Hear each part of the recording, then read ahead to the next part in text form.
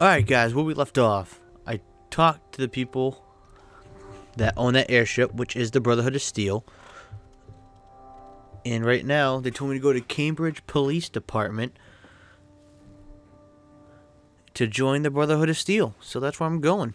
Heading to Cambridge Police Department. I'm going to join up.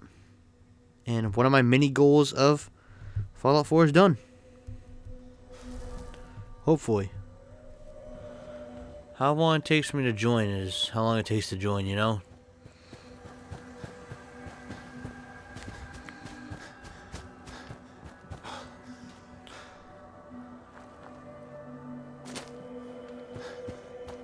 So, I'm happy that at least that's gonna be done for once. What is, oh, are these are vault things? Not vault things, a fucking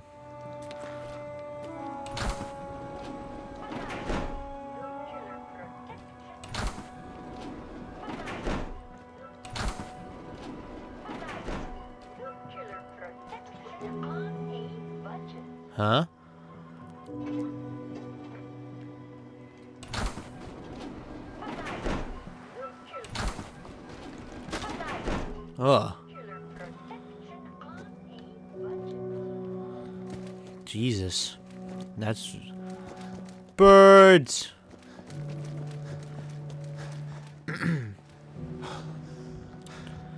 so I'm excited to join the Brotherhood of Steel. Oh. I hit that button completely by accident. That's in, in front of frag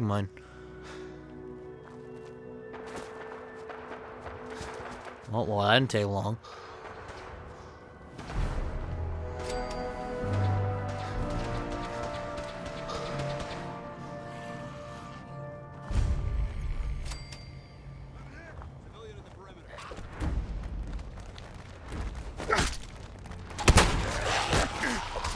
Jeez.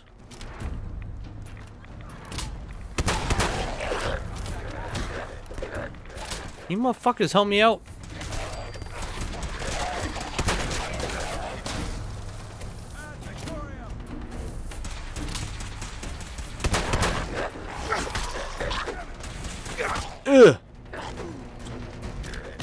Please. Oh, God.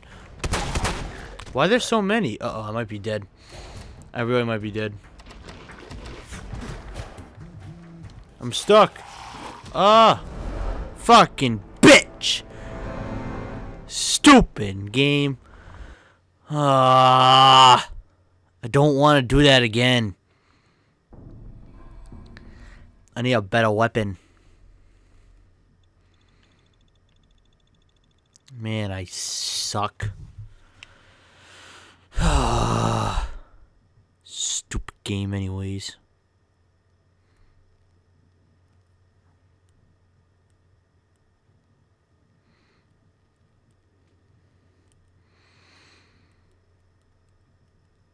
I really fucking hope this time. First off, Valentine mm-hmm. was completely missing. I, don't know. He was MIA. I don't know where the hell he went.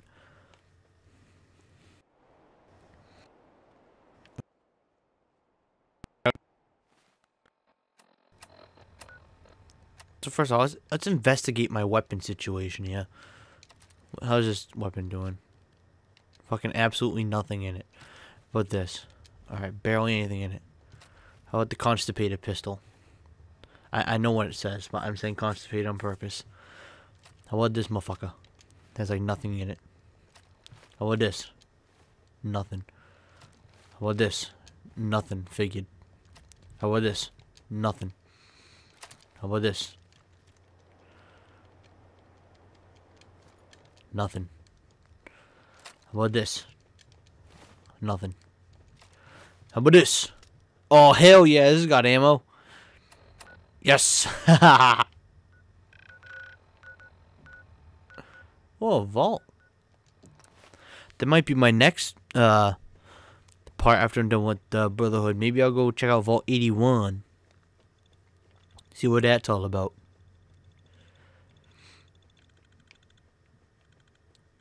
Maybe one thing I'll do is too see if maybe the main story uh, glitch is fixed. So maybe I can, well, at least patch for me. So maybe I can beat um this game. If I have to, I'll just do a different save. Oh, stop vatsing, man.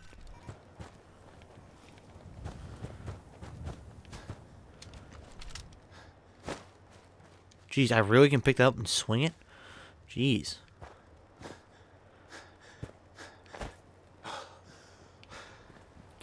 Just like Skyrim, uses your uh, your AP, so you can't fucking you can't do shit. Ah, yeah, buddies. So this time, when I get closer, I'm gonna save when I'm closer.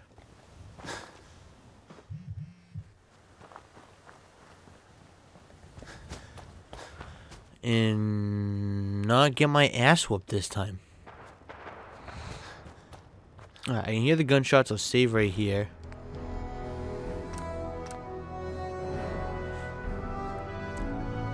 And go in and fight. I'll do a quick save, but I don't trust quick save sometimes.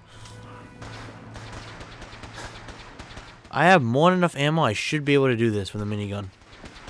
I, I, I hope.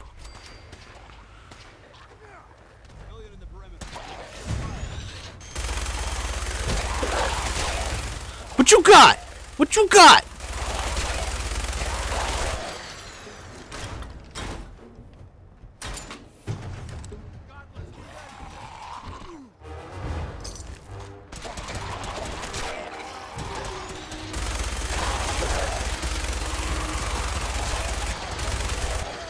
The Brotherhood's probably how the fuck does a civilian have a minigun?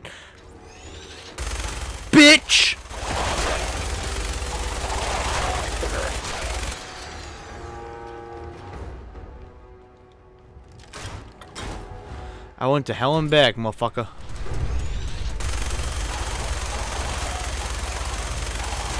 Come on. Come on.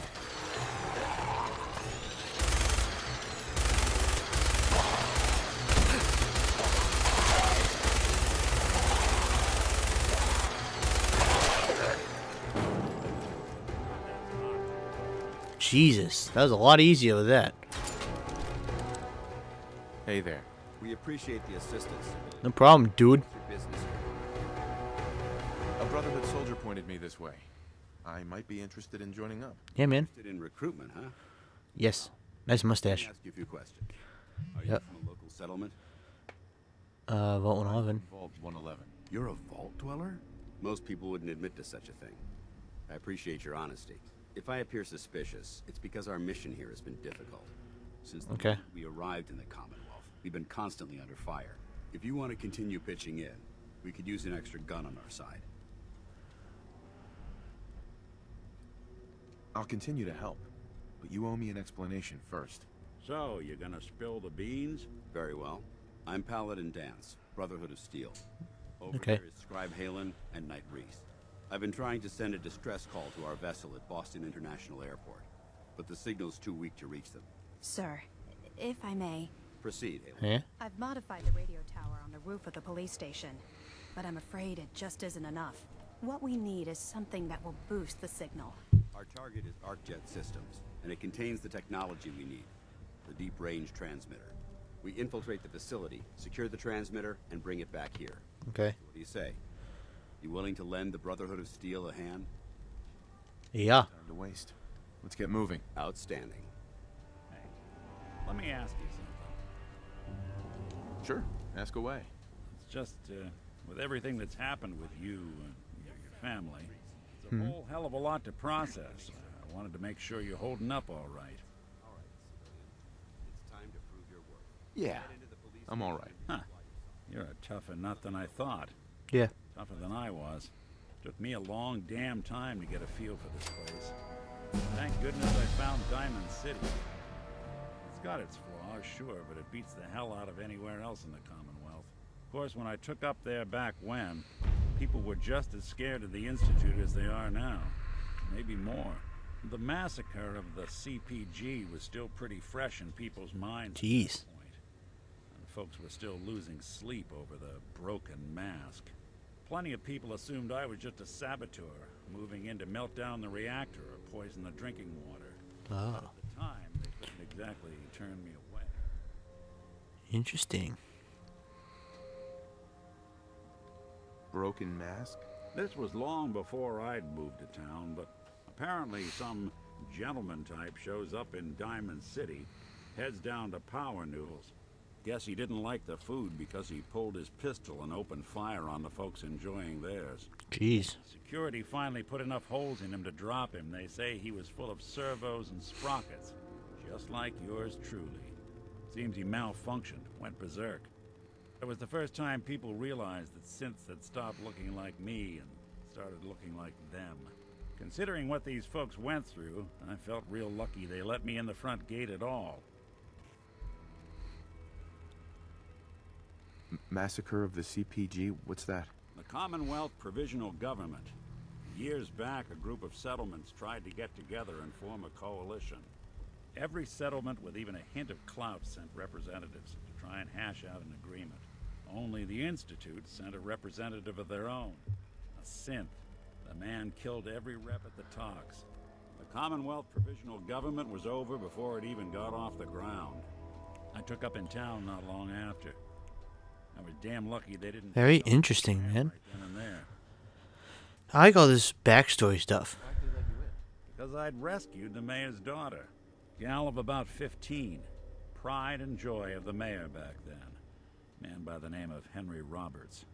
The young Miss Roberts decided she'd run off with some caravan hand she'd, uh, known for an evening. Turns out the guy was part of a gang of kidnappers. Oh. Didn't even know who I was rescuing, just stumbled on a crying girl and four toughs. I took her home, and the mayor dubbed me a hero, offered me a place in town. Lots of folks protested, said I was a spy. Wow. Didn't have it. What an ass. Waking up in the city was tricky at first, but I never tried to hide what I was, and people seemed to warm to that. Good for you, man.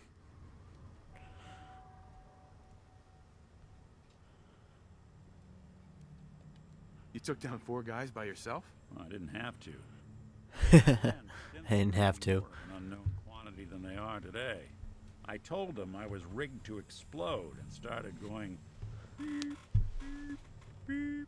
Hardest part of that rescue was keeping from laughing as they climbed over each other to get away. Was it hard settling in? That's awesome. Sure didn't make it easy. Beep, beep, beep. jobs no one else. You should just fucking throw a grenade or something like throw like a flashbang or something by their feet, so it just blew up and scared the shit out of them. I guess folks never forgot I rescued the mayor's daughter, so they started coming to me when people went missing. Huh. Wife runs off with a new paramour and takes the rent money with her. Talk to the synth. An upset father decides moving him and the kids to Goodneighbor in the dead of night's not the worst damn idea since the bomb. Go get Nick. After a while, the jobs got so backed up they didn't even ask me to do the handyman stuff anymore. Oh, Well, I was so happy to do it, it was months before I started charging anyone. I never stopped being Nick the Synth, but it was Nick the Detective folks came to see. It was about then that things, uh, well, things finally started feeling normal. It took me a long time to realize that home is where you make it. With some time and effort, this place can be home for you, too. That's a long story, but I hope it helps. Want to get moving? Good story. Alright, so we'll end this part right here after Nick's really interesting story that I didn't know about. Hope you guys enjoyed that. I'll see you on the next one.